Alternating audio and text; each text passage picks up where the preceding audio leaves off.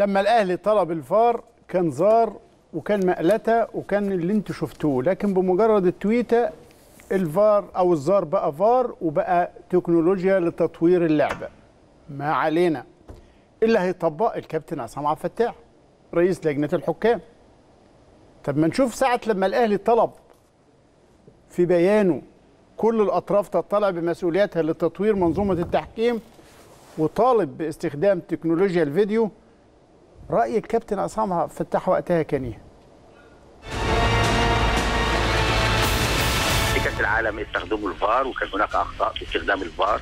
آه، البعض بيتكلم عن الفار لكن ما يعرفش إيه هي التكلفة؟ إيه هي ال ال ال ال الأشياء اللي يجب أن تتوفر عشان نستخدم نستخدم الفار هو هو غير الفلوس كمان الملاعب نفسها فيها إمكانيات محتاجة إن زي ما نحطها. بقول لك هل هناك ال- الملاعب مجهزة إن إحنا نستخدم الفار؟ هل هل مجهزة؟ هل نقدر نعمل مثلا غرفة مركزية في القاهرة في اتحاد الكورة زي ما كان في كأس العالم. زي ما كان في هل عندنا هذه الإمكانيات؟ الناس مش فاهمة. الناس مش فاهمة. إيه هو الفار؟ إزاي بيستخدم؟ وإيه التكلفة المالية؟ و... وإعداد تقنيين واعداد وإعداد فنيين وإعداد حكام بشكل غير عادي.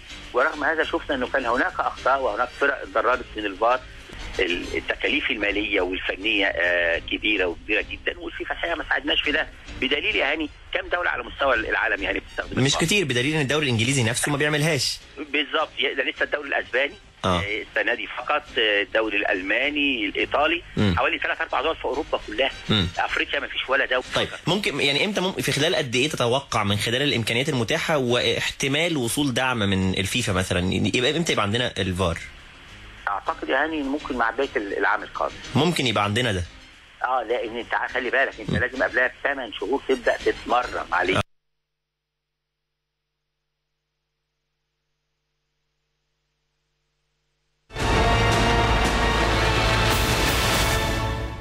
طيب كابتن عصام عبد الفتاح استصعب الفار جدا وشاف إن ده مش هو الحل وفي دول كتيرة مش هو مطبقاه سؤال مهم. ومحتاج إمكانيات اقتصادية كتيرة جدا وإنه ممكن السنة الجاية نفكر فيه.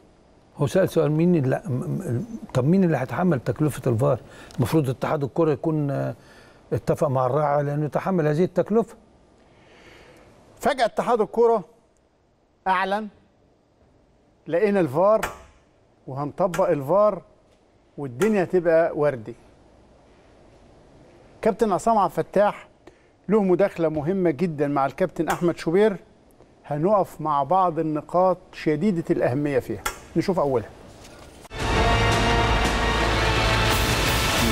في التعاون يعني أول بين- لقاء لبيراميدز مع المقاولون العرب بطاقم حكام تونسي. بالظبط يا كابتن. طب وليه يعني ليه ليه هيديروا مباراة؟ ليه اخترتوا مباراة بيراميدز والمقاولين ليه مش بتروجيت والداخليه ليه مش الاتحاد والإنتاج؟ ليه مش طلائع الجيش ما- ما- والإسماعيلي؟ ليه مش سموحة والزمالك؟ ليه مش إنبي والمصري؟ ليه مش النجوم ووادي دجلة؟ هقول لك يا كابتن شوبير و- وبكل صراحة يعني. أيوه طبعا نادي بيراميدز آه، والشيخ ترك كان طلب حكام أجانب وكان هدد بالانسحاب وكان وكان وكان آه، إحنا مش عاوزين وعلى فكرة والدولة بتشجع الاستثمارات وإحنا كمان بنشجع الاستثمارات في كرة القدم وإحنا كمان إيه علاقة الحكام بالاستثمار يا فندم. نادي بيراميدز بشكل ما كبير وعاوزينها تنجح ما علاقة الحكام بالاستثمار برضه يا كابتن عصام؟ إيه علاقة الحكام هكملك يا بالاستثمار؟ كابتن شوبير أنا خلي بالك. أنا بكلمك بكل صراحة. طبعا اتفضل بكلمك. على. المكشوف. اتفضل طبعا. يعني آه، فأنا بكلمك بكل صراحة ما عنديش حاجة أخاف عليها. تمام. ولا بخاف من حد. تمام. آه، فأنا بكلمك بكل طبعا آه، والدولة حريصة إن تنجح التجربة تمام عشان نكون يعني صراحة طبعاً، يعني إيه؟ وده وده طبعاً. حاجة كويسة وإحنا وحضرتك وكل الناس كل عاوزة إن. الدوري يبقى دوري محترم ويبقى تسويقيا آه، آه، على مستوى عالي ويبقى عندنا أكتر من فريق ينافس على الدوري كل. ده ممتاز آه، حصلت مشاكل كبيرة يا كابتن شوقي قبل بداية الدوري. مشاكل كبيرة وكل الناس حاولت تدخل التحكيم. كل الأطراف المتنازعة. حاولت تدخل, تدخل التحكيم. أنا خلي بالك أنا بكلمك بكل صراحة نعم، نعم. من الأول للآخر. نعم. آه، ودخل طبعا آه، ضيف جديد على الدوري هو نادي بيراميدز والجميع رحب بيه وإن طبعا. آه، آه، استثمار كبير وشيء كويس هيضيف للدوري المصري وكلنا مرحبين بيه. آه، وحصلت آه، مشاكل ما بين أندية معينة مع نادي بيراميدز وما بين مسؤولين واتهامات و والكل حاول يدخل التحكيم. خلي بالك التحكيم عليه ضغوط غير عادية. صحيح. نتكلم بكل منطقية. نعم.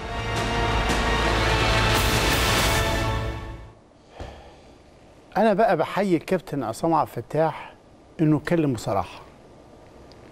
وكلامه للكابتن شوبير لو عدنا الفيديو تاني هتلاقوه بيقول له خد بالك حاجة أنا بكلمك بكل صراحة. عشان كده إحنا لازم نتكلم بكل صراحة. لما رئيس لجنة الحكام يقول دي تجربة لازم ننجحها. يبقى لازم نتكلم بصراحة.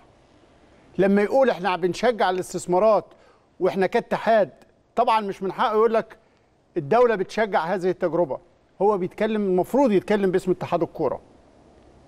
نادي الجونة نادي استثماري وكل الأندية الخاصة في المسابقة أندية استثمارية والنادي الأهلي ونادي الزمالك ونادي الإسماعيلي كيانات شعبية كبيرة جدا ليها كل الحقوق في تنافس كامل ونظيف.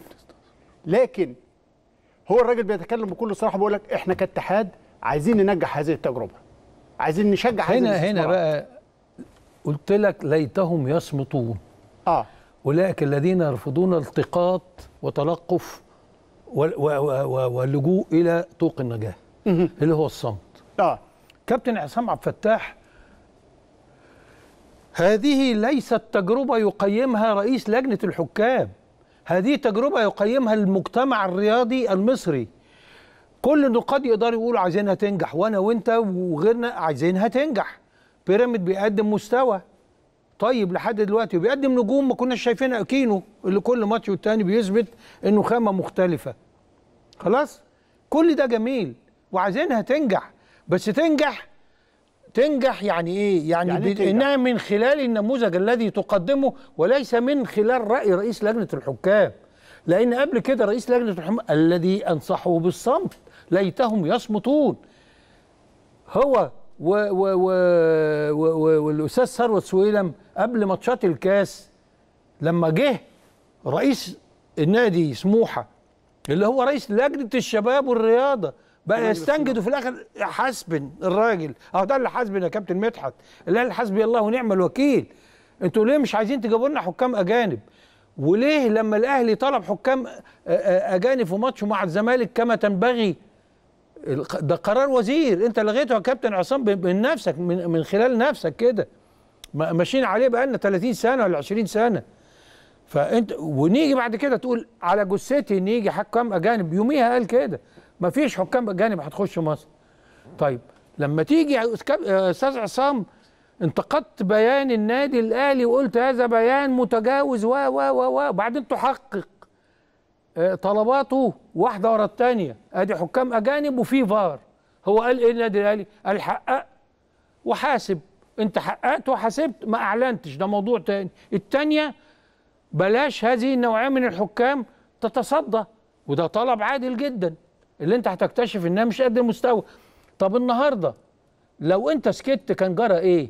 كان جرى كل المسائل دي هتبان منطقية. الأهلي طلب الفار آه بيراميدز طلب الفار آه، اتحاد الكرة استجاب. هذه منطق لكن تشجب و و و وتندد. وبعدين فجأة ترحب وتقول عايزين ننجح التجربة. مش دورك. انت انت معنى كده بتعلن انحيازك لشيء ضد شيء بشكل واضح. عشان